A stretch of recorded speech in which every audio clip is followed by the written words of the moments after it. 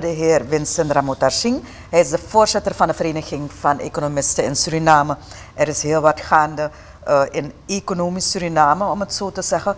Vanaf vandaag gaan de nieuwe economische maatregelen in. Voor een US-dollar zal vanaf vandaag minimaal 14,29 en maximaal 16,30 moeten worden neergeteld. Exporteurs en cambio's zijn verplicht om 30% van hun valuta-inkomen in SRD te wisselen. En importeurs moeten al hun overmakingen naar het buitenland via een Surinaamse deviezenbank doen. Deze maatregelen zijn bedoeld, dat is dus aangegeven, om de valutakoersen stabiel te houden en omlaag te krijgen. Meneer Amotarsing, goedemorgen. Van harte welkom. Goedemorgen. En ik ga dan direct met de deur in huis vallen. Hoe kijkt de VES naar deze maatregelen?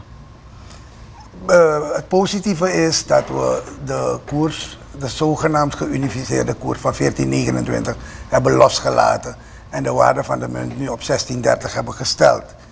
Het ding van bandbreedte gaat niet werken. Het is 1630. Niemand gaat voor 14 of 15 wisselen als hij 1630 wettelijk kan krijgen. Dus eh, het is 1630. En dat is positief. Um, het minder positieve is dat ook 1630 niet gaat werken, omdat die economie helemaal is ingesteld op rond de 18, soms 19, maar die is hoger ingesteld. En we gaan nu proberen de centrale bank heeft geen deviezen. We gaan nu proberen om deviezen te halen bij de exporteurs. We gaan ze dwingen om een deel van hun exportdollars om te wisselen tegen een lagere koers. Wat betekent dat? Dat betekent namelijk dat je ze vraagt om minder winst te maken of zo, zo in bepaalde gevallen zelf verlies te draaien. En dat gaat geen enkele exporteur doen. Bovendien, zelf als die exporteur um, rijk genoeg is dat hij zijn verlies kan nemen, betekent dat wat gaat dat betekenen voor zijn opkoopprijs? Want de meeste exporteurs zijn opkopers. Of het nou praat over groente, fruit, rijst, uh, hout, uh, vis. Zijn opkopers die het gaan afwentelen op de producent. En die producent gaat het gelag betalen. En die producent, dat zijn u en ik. Dat zijn de boeren van uh, de rijstboeren, de, de, de, de groenteboeren, et cetera. Dus we pakken niet die rijke exporteur, we pakken eigenlijk die boeren. Dus de, het gaat dus niet werken dat kan ik wel zeggen. Die exporteur is slim genoeg en we hebben genoeg ervaring mee. De VES bestaat al zoveel jaar. We hebben genoeg ervaring met retentieregelingen. Ze werken niet. Dus ook deze gaat niet werken. Ja, maar als u zegt dat het niet gaat werken, wat zou dan wel kunnen werken volgens u? we hebben aan de regering geadviseerd om de koers los te laten. We hebben een formele zwevende koers, alleen in de praktijk zweeft hij niet. In de praktijk bepaalt de politiek. En de, economie luistert niet naar de politiek. De politiek heeft een ander belang. De economie kijkt naar vraag en aanbod, naar, schaarste en kijkt naar waar, waar, zit, waar zijn groeimogelijkheden. De, um, wat er wel moet gebeuren is dat we die koers vrij laten. Dat vraag en aanbod bepalen. Diegenen die de visa verdienen, bieden aan tegen een bepaalde prijs. En diegenen die de visa nodig hebben, die vragen. En dan komt een nieuw evenwicht tot stand. En het, evenwicht, als we die, die 1429 uh, vrij laten en de, de, laten we zeggen, de buitenkoers, want ik kan niet zeggen het is illegaal, want het gebeurt in de praktijk. Gewoon, de meeste mensen wisselen bij de cambio's en op straat. De buitenkoers is, laten we zeggen, 18, 19. Dan zal die evenwichtskoers zal ertussen liggen. Dus we hoeven geen paniek, hoeven niet in paniek te raken om te denken dat die koers naar 50 gaat. Alleen als je de verkeerde dingen doet, gaat die naar 50 gaan. Dus wij zeggen laat hem zweven en hij zal wel terugkrabbelen als hij te hoog gaat. Want we hebben er ervaring mee. In 2000, na Bosje-periode, was die koers 3200 geworden. En toen kwam Venetiaan voor de tweede keer. Hij had ervaring uit de SAP-periode met allerlei retentieregelingen en de visaveilingen die niet gewerkt hadden. Hij had ervaring. Hij heeft die koers rustig laten lopen. En die koers is naar 3600 gegaan. En we waren eigenlijk in paniek, was aan ego fout. En langzaam heeft hij zijn evenwicht terug. Toen vertrouwen terugkwam, van deze regering is goed bezig. Langzaam is hij teruggelopen naar 27,50. En daarna kon Telting die 3 0 schrappen. We zijn dat vergeten. Het werkt dus wel. Ja. Um, is de, centrale bank in staat met de beschikbare middelen die, de, uh, die ze nu hebben om de zwarte marktkoers het hoofd te kunnen bieden? De centrale bank heeft geen middelen. Dat is het punt. En daarom wil men die deviezen van die exporteurs binnenhalen. En daar is niks verkeerd aan. 100% uh, terugbrengen is, is normaal. Eh, je hoeft geen dollars in het buitenland aan te houden als je er weer vrij over kan beschikken. En zeker niet als je 30% tegen een lagere koers uh, moet wisselen. Dat wil zeggen, je bent een dief uit je eigen portemonnee. En we hebben de ervaring dat die exporteurs slim genoeg zijn om te weten hoe ze dat moeten omzeilen. Ja, als we het zo horen, dan is de VES toch niet zo enthousiast over de nieuwe maatregelen. We zijn blij dat we wel die, die nepkoers van 1429 kwijt zijn. Ja. Maar om vast te houden aan 1630 is ook een tijdelijk ding. Over drie maanden, wanneer IMF komt, zal je wel zien dat je het gaat, gaat moeten vrijlaten. De evenwichtskoers, we willen allemaal een lage koers, natuurlijk. Maar de echte koers die blijvend gaat zijn, die duurzaam is, is die koers die we kunnen verdienen met, op basis van onze exporten. En als het 16 is, prima. Liever dan 19. Maar uiteindelijk bepaalt u en ik bepaal het niet, de president bepaalt het niet. Uh, uiteindelijk bepaalt de kracht van de economie. Ons vermogen om te produceren en te exporteren, dat gaat bepalen of die koers gaat zakken. Ja. Hoe kijkt de uh, VES naar de gesprekken die de regering op dit moment voert met het IMF? Want daar sprak je toch net over.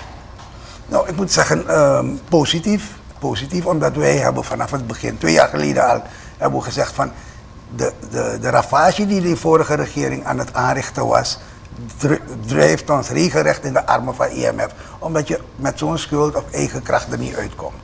Dat hebben we al twee jaar geleden gezegd. Niet omdat we IMF leuk vinden hoor, maar omdat IMF daarvoor is. Landen die. Teporing, daar pas je door een IMF. Landen die het goed doen, komen nooit bij IMF. Dus je gaat nooit reclameverhalen over het IMF horen. Want alleen wanneer je in problemen komt, uh, bent, kom je bij IMF. De regering is traag, heeft weinig kader en wat nu met die wisselkoers ook, is erg amateuristisch. Ze hebben weinig ervaring met hoe die economie werkt. Er zijn mensen op, op plekken die ja, niet, uh, ervaren genoeg zijn. En dan moeten ze eerst de hardware leren. En dat gaat ten koste van tijd. En tijd betekent verdere verarming. Wat we nu in 7,5 maand nog niet hebben bereikt. We hebben nog niet, een plan. We hebben nog niet eens een plan. 7,5 maand. Ik bedoel, ja, toch in twee, drie maanden je plan klaar moeten kunnen hebben.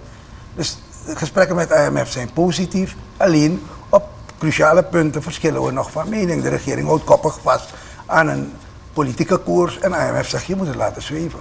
Ja, heeft de VES ook een binnen, uh, is, de VES gehoord uh, voordat deze maatregelen werden genomen? De VES heeft op 12 januari een crisis- en herstelplan ontvangen en we hebben op 25 januari 11 pagina's commentaar gestuurd. Daarna hebben we nog één keer samen met VSB en anderen hebben we één keer mogen vernemen wat de commentaren waren, maar we hebben nog niet vernomen wat ze met die commentaren hebben gedaan. En nu merken we dat in plaats van een samenhangend pakket van maatregelen waar het draagvlak voor is uit te voeren, dat men nu mondjesmaat met maatregelen komt van uh, inwisselplicht en, uh, en, en, en andere wisselkoers. Dus wij zijn voor een samenhangend pakket van maatregelen waarin productiestimulering zit, fiscale bezuinigingen zit, maar ook een sociaal vangnet zit. En dat moet sluitend zijn, begroting moet sluitend zijn. En dan voer je ze één keer door. En dan vraag je het volk om even, even pijn te lijden, want we gaan allemaal moeten inleveren. En dan komen we er heel snel uit. En korter dan een jaar kunnen we eruit komen. Maar dit, deze aanpak gaat ons jarenlang in armoede houden.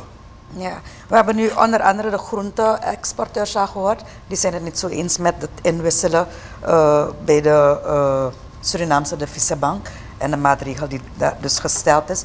Hoe zal men hiermee omgaan? En wat is het advies op dit punt? Die, die exporteurs hebben geen problemen met het inwisselen. Als ze er maar weer over kunnen beschikken. En twee, als ze maar een, een, redelijke koers voor krijgen. En niet een politieke koers. Oké. Dus wat zou u tot slot uh, willen meegeven over deze maatregel? Hoe kunnen we dat aanpakken? Hoe moeten we ermee omgaan? Hoe moeten we daarnaar kijken? Dus wat ik al zei, positief dat we die 14 hebben verlaten. En of die 1630 gaat werken, ik heb geen glazen bol. We hebben alleen ervaring en die ervaring leert dat een koers zich niet laat dicteren. Je, je, je kan police de, de exchange rate. Je kan niet gewoon per decreet zeggen die koers is zoveel. De koers is de, geeft de weer, weer je kracht van je economie. En onze economie is ziek. Dus we, we zullen moeten accepteren dat onze koers niet zo laag gaat zijn. We moeten eerlijk zijn. Hè? Je moet eerlijk het volk voorlichten in plaats van te zeggen dat je eh, de om, eh, omlaag gaat brengen. Je belazert het volk als je zo doorgaat. Want je kan het niet waarmaken. Tenzij ze iets weten wat wij niet weten. Maar Ja. over het algemeen zijn we goed geïnformeerd. Oké. Bent u trouwens voorstander van het dollariseren van de economie? En waarom? De economie is al partieel gedollariseerd. Een heleboel transacties gaan in eh, vreemde valuta. Ehm, en dat geeft aan dat er eh, onvoldoende vertrouwen is in die lokale munt. En dat, dat betekent onvoldoende vertrouwen in het lokaal bestuur.